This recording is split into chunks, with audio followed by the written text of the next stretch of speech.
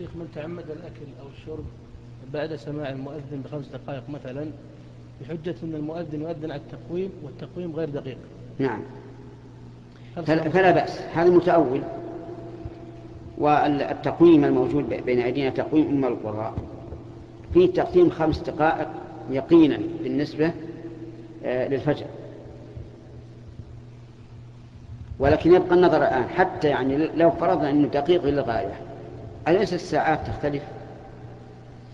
نعم إذا قدرنا أن, أن الأذان خمس وربع مثلا. ساعة المؤذن يقدم خمس دقائق.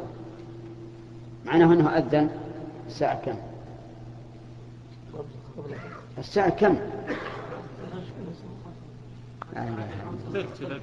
عليت هذا المؤذن ساعة مقدم من خمس والأذان على خمس ربع فإذا أذن على خمس ربع فالمعنى أنه أنا خمس عشر. أنا خمس عشر ما بعد دخل الوقت فالمسألة يعني من جهات بالنسبة للثقة من أذان المؤذن. لكن إذا علمنا أن هذا المؤذن رجل حازم ثقة يضبط الساعة تماما وأذن على التقويم فكما قلت لكم التقويم بالنسبة للفجر مقدم من خمس دقائق. ما في إشكال.